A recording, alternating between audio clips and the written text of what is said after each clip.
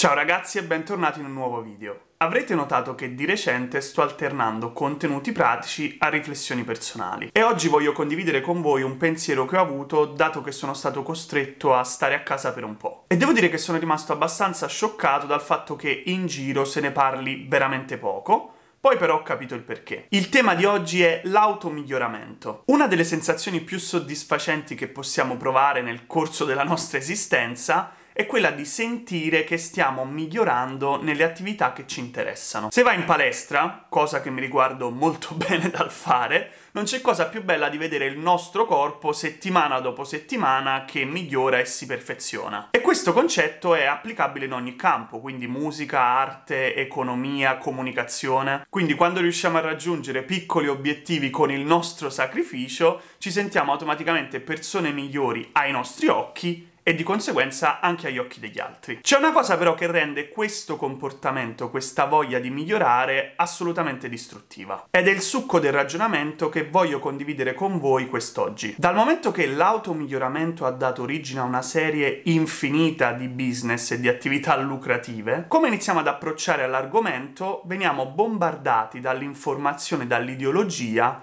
che il miglioramento, il self-improvement sia la soluzione a tutti i problemi. Hai difficoltà nelle relazioni? C'è il self-improvement. Hai difficoltà economiche? C'è self-improvement. Hai difficoltà nel lavoro? C'è quel ragazzo simpatico che fa video sul lavoro, però c'è anche il self-improvement. Cioè si è diffusa l'idea che la risposta a tutto sia il self-improvement e che se non curi in maniera maniacale il miglioramento di te stesso, non hai nessuna possibilità di raggiungere i tuoi obiettivi. Perché addirittura con il miglioramento personale potrai arrivare a raggiungere livelli talmente alti della tua persona da essere ammirato da tutti, avere successo in tutto e non avere più problemi. Questo è il messaggio che mi è stato trasmesso dai social e dagli stessi contenuti di miglioramento personale e io ritengo che sia un messaggio assolutamente tossico. All'inizio non capivo perché nessuno ne parlasse, poi, logicamente, riflettendoci un secondo, ho capito che è perché ci sono enormi interessi economici. Perché, logicamente, ci sono centinaia di libri che devono essere venduti, ci sono migliaia di profili che devono essere seguiti, perché devi sapere che se non adotti la morning routine di Elon Musk o non leggi 15 libri al mese consigliati da Bill Gates,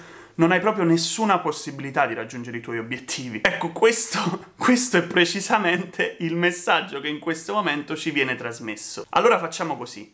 Prendiamoci un secondo, veramente un secondo, per riflettere sui profili di successo, o comunque i profili che comunemente vengono definiti di successo, e cercare di capire perché loro sono arrivati a raggiungere i loro obiettivi. Per esempio Zuckerberg, Cristiano Ronaldo e LeBron James. Cosa hanno in comune? La dieta? La morning routine? No, ragazzi, semplicemente loro sono i migliori in quello che fanno. Sono diventati bravissimi in qualcosa di specifico. E considerare il self-improvement, il miglioramento personale, come viene considerato, è come dire che Cristiano Ronaldo sia Cristiano Ronaldo perché adotta la dieta di Cristiano Ronaldo. Vi faccio un esempio pratico che ho vissuto sulla mia pelle. È pensiero logico, pensiero comune, credere che per migliorare nella comunicazione e nel business bisogna comunicare e fare business. Bene, ho passato un intero periodo della mia vita, precisamente tra primo anno di magistrale e secondo anno di magistrale, a bombardarmi di contenuti di crescita personale e di libri sulla comunicazione e sul come creare progetti. Ray Dalio, Carnage, Tony Robbins, li ho letti veramente quasi tutti. Sembravo un alieno che provava a capire come funzionasse la razza umana. Veramente era una cosa assurda. Poi ho iniziato a lavorare e sperimentare praticamente come funzionassero determinate attività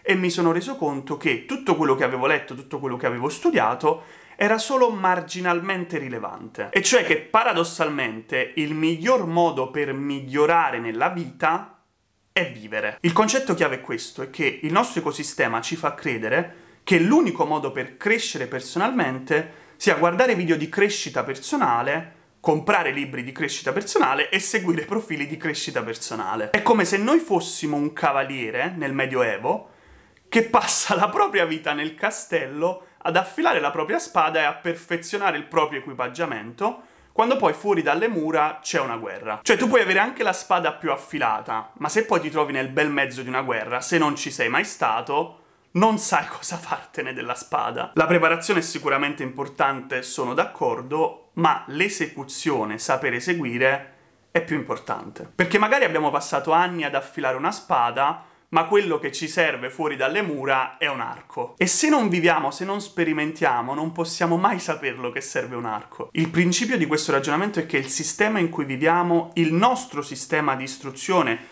che prima o poi avrà un video dedicato, e ve lo giuro, e i social che come ho detto prima secondo me sono tra i primi colpevoli, per ovvie ragioni economiche ci hanno indotto a pensare che non saremo mai pronti per fare qualcosa, o che abbiamo bisogno di una super preparazione per affrontare non si sa quale sfida insormontabile, togliendo così sempre più spazio all'azione, alla pratica e all'iniziativa, e rendendoci di fatto molto più insicuri di quanto dovremmo essere. Io l'ho provato sulla mia pelle e per questo voglio condividere con voi tre spunti, tre riflessioni che mi hanno aiutato tantissimo a dare un taglio più pratico alla mia vita. La prima riflessione è che quando ti senti pronto per fare qualcosa, vuol dire che sei in ritardo. La seconda è non perdere troppo tempo ad analizzare, ma agisci. E la terza è non sottovalutare le altre persone. Riflettete su questi tre spunti e sul significato che possano avere per voi perché ho deciso di dedicare ad ognuno di questi tre un contenuto separato. Ora non so se tramite un reel su Instagram o tramite video, però sono sicuramente tre argomenti che svilupperò perché veramente per me hanno fatto la differenza. Come sempre vi invito a supportarmi nella condivisione di questi contenuti, fate girare i miei video tra le persone che possono averne bisogno. Ricordate come sempre di lasciare un'iscrizione, un mi piace, un commento per supportare questo canale.